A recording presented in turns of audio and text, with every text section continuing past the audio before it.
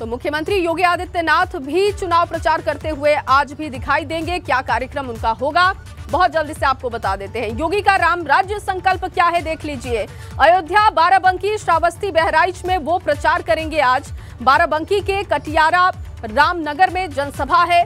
इसके अलावा बहराइच में भाजपा प्रत्याशी प्रत्याशी सुरेश्वर के लिए वोट की अपील वो करेंगे। और श्रावस्ती की अगर हम बात करते हैं, यहाँ पर जिला पंचायत ग्राउंड में जनसभा उनकी होने वाली है, जिसके लिए तैयारी अंतिम चरण में है।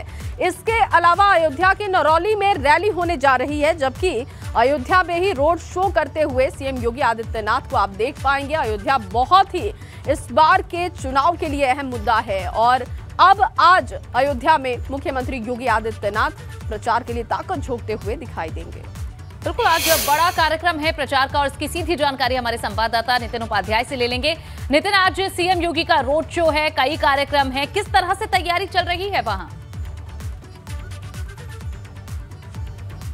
देखिए तैयारियाँ बड़ी जोरों शोरों से चल रही हैं और हमने आठ बजे के बुलेटिन में दिखाया था किस तरह से पूरा जो साकेत महाविद्यालय से लेकर जो हनुमानगढ़ी का जो रास्ता है, चौराहा होते हुए और किस तरह से जो राम की जो पैड़ी है, वहाँ किस तरह से पूरी तरह से भगवामय हो गया है। तस्वीरों में आप देख सकते हैं कि तमाम जो बीजेपी के झंडे हैं, वो फहरा रहे हैं। कुल मिला के विकास हो राष्ट्रवाद हो, हिंदुत्व हो, कानून व्यवस्था हो और उसके साथ ही भगवान राम के सहारे दो 2022 की जो वैतरणी बीजेपी पार करना चाहती है, राम की पैड़ी का ये इलाका, यहाँ जब साकेत महाविद्यालय से उनका जो कहा जाए जो उनका रोड शो चलेगा, जिसमें कहा जाए बड़ी संख्या में संत साथ में रहेंगे, वैदिक ब्राह्मण उनके साथ में रहेंगे, राम की धुन पर थिरकते हुए लोग आगे बढ़ेंगे, म्यूज़िक चलता रहेगा और उसके बाद यहाँ राम की पैड़ी पर हज़ारों लोगों की शाम को यहाँ भीड़ जमा होगी और आगे चल के कार्यक्रम जनसभा का कार्यक्रम है। तो कुल मिला के कहा जाए, आप देख सकते हैं कि ये राम की पैड़ी का इलाका है। यहाँ भी इसको भी पूरी तरह से ये बीजेपी सरकार यहाँ दीपोत्सव का आयोजन करती रही है और दीपोत्सव से भी बड़ा ये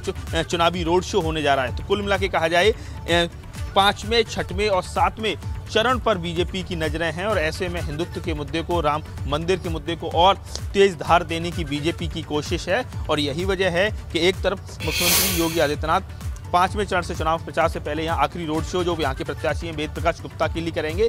साथ ही साथ यहाँ से जो मैसेज आएगा, उसका पूरे पूर्वांचल में एक बड़ा मैसेज रहेगा। तो कार्यकर्ताओं में उत्साह उत्साह है, लोगों में उत्साह है, और आज शाम को एक बड़ा कार्यक्रम यहाँ होने जा रहा है। मुख्यमंत्री की वैसे तो चार जिलों में कार्यक्रम है, लेकिन अयोध्या में, अयोध्या को लेकर वो लगातार चालीस बार वो यहाँ आए हैं मुख्यमंत्री के तौर पर, और अब वो यहाँ के लोगों से जन समर्थन मांगेंगे। तमाम कहा जाए जो बड़े संत हैं वो उनके रथ में सवार रहेंगे। इसके साथ ही तमाम जो कहा जाए वैदिक ब्राह्मण हैं वो भी एक साथ में उनके साथ चलते रहेंगे और मंगल गीत गाते रहेंगे। तो बिल्कुल और देखिए राम मंदिर को भले ही राजनीति से परे बताया गया लेकिन इससे इनकार नहीं किया जा सकता कि इस बार के चुनाव के लिए ये बड़ा मुद्दा है। आप नज़र बना के रखिए आगे भी आपसे अपडेट लेंगे।